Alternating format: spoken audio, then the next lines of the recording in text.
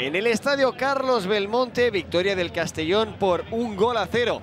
El partido empezó bien para el Albacete con ese penalti a favor, pero mal a su vez porque el disparo de Alfredo Ortuño lo detuvo Oscar Wally. Hizo un gran partido Oscar Wally con paradas de mucho mérito. Esa fue la primera de ellas. También hizo una buena parada en esta ocasión Tomeu Nadal. El disparo fue de Jorge Fernández en la primera ocasión peligrosa del Castellón en el partido.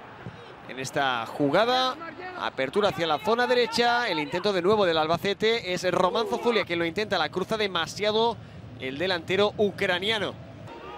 Más acciones de peligro en la primera mitad. Más intentos del Albacete. Y otra vez interviniendo de manera providencial Oscar Wally. Palmeando el disparo de Fuster. Muy buena mano para evitar un gol que hubiera llegado en el 45, en la última acción de la primera mitad. En el segundo acto sucedió esto, el gol, el único tanto del partido, el tanto de Jorge Fernández en el minuto 63.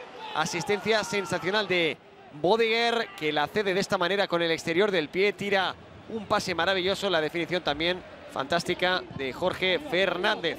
El Albacete no perdió la fe y siguió intentándolo. Tuvo una muy buena Alfredo Ortuño, pero otra vez se encontró con los reflejos maravillosos de Oscar Wally. Qué gran partido hizo el cancerbero del Castellón. Gracias a él, en parte, el Castellón se llevó los tres puntos en el Carlos Belmonte. Albacete 0, Castellón 1.